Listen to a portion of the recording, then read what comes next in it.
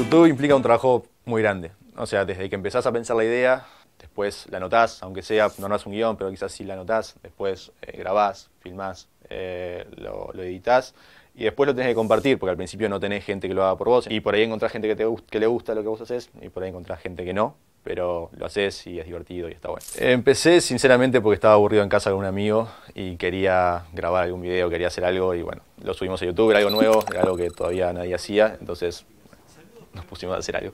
En el último año del liceo teníamos 6 horas de matemáticas semanales y había días que no podías hacer los ejercicios o no podías estudiar. Cuando le decíamos esto a la profesora, la profesora nos decía, chicos, el tiempo es perfecto y les tiene que dar para todo. A mí nunca me funcionó y creo que a ella tampoco, ya que en unas cuantas oportunidades ella llegó tarde a clases porque tenía que hacer diversas cosas, al igual que demoró bastante tiempo en entregarnos las notas de los parciales. Mientras hacía cosas para YouTube, también estudiaba, este, tenía mi carrera y también luego trabajaba, estudiaba y hacía cosas para YouTube. Así que nunca fue mi objetivo vivir de YouTube y por ahora no lo es tampoco. O sea, sí he podido generar ingresos, este, sí he generado, no sé, un mes 100 dólares y yo estaba contento porque tenía 18 años y había generado 100 dólares por YouTube pero más que eso no. Buena gente, yo soy Fermín y esto es Da para pensar. Buena gente, yo soy Fermín y esto es Da para pensar. Buena gente, yo soy Fermín y esto por supuesto es Da para pensar. Un video favorito. Sí, me gusta mucho uno que hice para San Valentín. Sin querer lo vieron compañeros de clase y fue por ahí que también se me conoció un poco en la clase. Ah, vos haces videos. sí, porque bueno, Nada, más que nada por eso. Día de San Valentín, día de la amistad, del amor, día donde las parejas parece que se salen a divertirse, salen a comer, salen a hacer algo. Mi amor, te compré una cámara.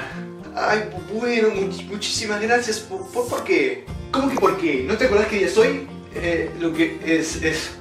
Mm, a ver, aniversario, no. Cumpleaños, no. 14...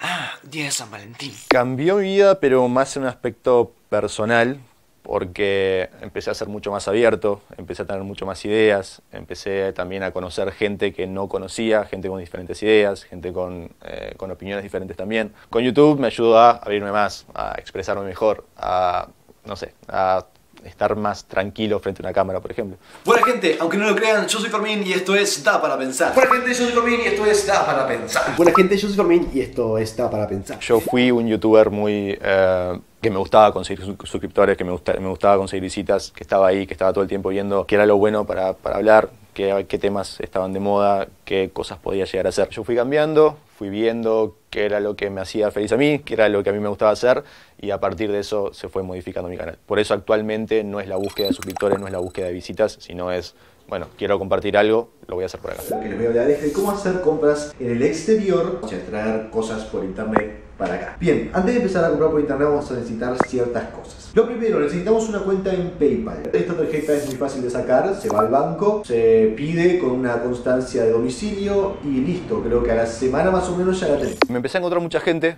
que me saludaba.